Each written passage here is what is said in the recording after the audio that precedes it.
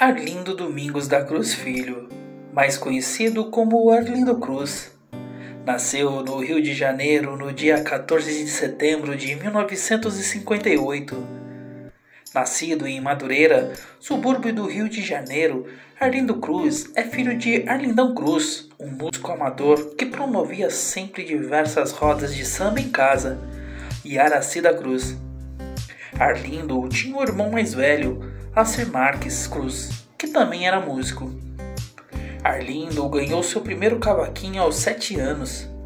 Empolgado com o instrumento, esperava o pai chegar do trabalho para aprender a tocar. Aos 12, já tirava muitas canções de ouvido, e seu irmão, Acir Marques, aprendia violão. Entrou para a escola Flor de Meia, onde estudou teoria, solfejo e violão clássico por dois anos. E já nessa época começou a trabalhar profissionalmente como músico, fazendo rodas de samba com vários artistas, inclusive Candeia.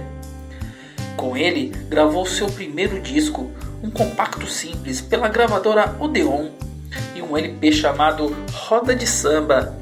Em ambos tocou cavaquinho.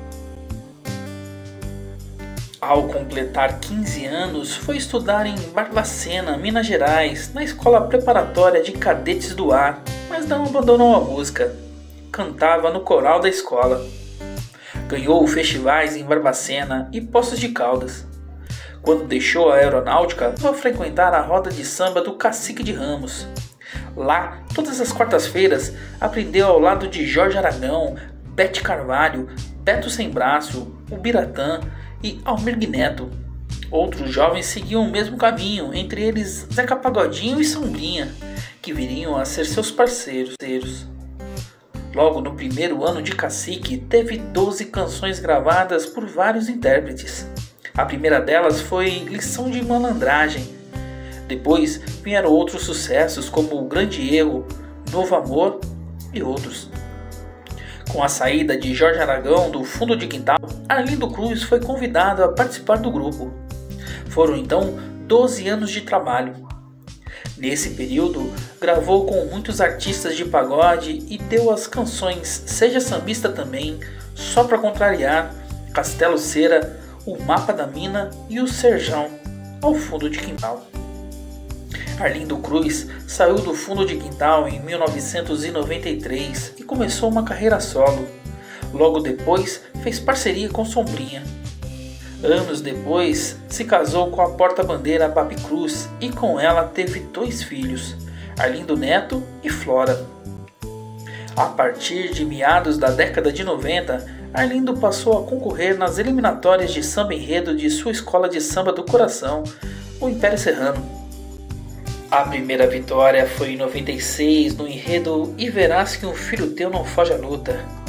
Arlindo emplacaria o hino imperiano também no ano seguinte, mas a escola acabou caindo para o grupo de acesso.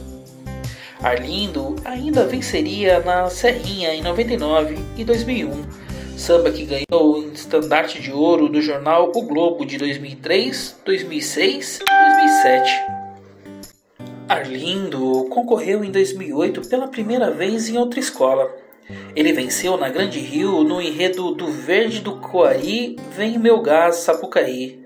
Desde que começou a disputar nas eliminatórias, Arlindo Cruz já venceu oito vezes, além de ter ganho na Vila Isabel e de ter encomendado duas vezes na Leão de Nova Iguaçu.